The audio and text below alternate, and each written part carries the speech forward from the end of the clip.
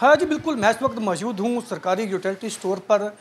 हुकूमत वफाक की तरफ़ से कहा गया था कि गरीब आदमी को रमज़ान करीब बात ही एशिया खुर्दनोश पर सब्सिडी दी जाएगी, जो ज़रूरियात एशिया खुर्दनोश हैं। उस पर, लेकिन यहाँ पर आज जो कस्टमर हैं, वो ख़रीदारी के लिए आए हुए हैं। हम उनसे भी जानेंगे जो वफाक हुकूमत की तरफ़ से वादे किए गए हैं कि रमज़ान पैकेज दिया जाएगा।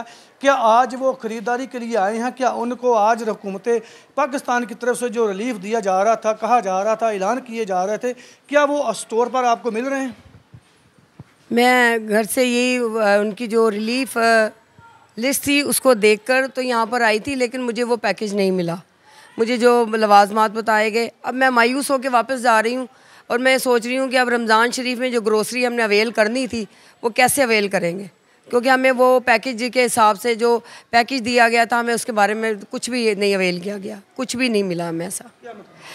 हमारा मुतालबा यही है कि रमज़ान शरीफ शुरू होने से पहले हमें ग्रोसरी की जो ख़वातीन को सबसे ज़्यादा परेशानी का शिकार होती हैं, रमज़ान में रोज़े रख कर वो इस तरह से नहीं धक्के खा सकती।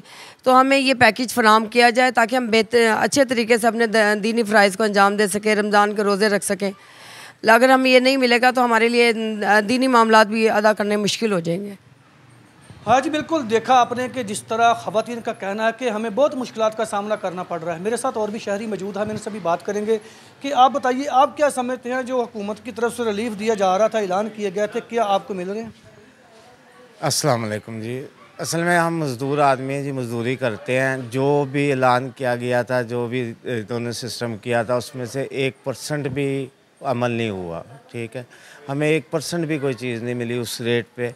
या उस तरह, बल्कि हम खुआर जलील हो गए हैं, रोज़ाना चक्कर लगा लगा के, और वाज खाली आते हैं, खाली आते हाँ। जी, बिल्कुल, आपने बात सुनी, जिस तरह कस्टमर इस वक्त सरकारी यूटिलिटी स्टोर पर ख़रीदारी के लिए आए थे, उनका यही मुतालबा है वज़ी अजम पाकिस्तान से, जो आपने वादे किए थे गरीब आवाम के साथ, कि रमज़ान में सब्सिडी दी जाएगी एशिया खुर्दोनोश पर तो आपको चाहिए कि फौरी जो है वो एशिया खुर्द पर सब्सिडी दे ताकि गरीब आवाम जो है वो रमज़ान मुबारक का मुकदस महीना भी, रोज़े भी अच्छे तरीके से रख सके और अपने गरीब, अपने बच्चों का पेट भी पाल सके।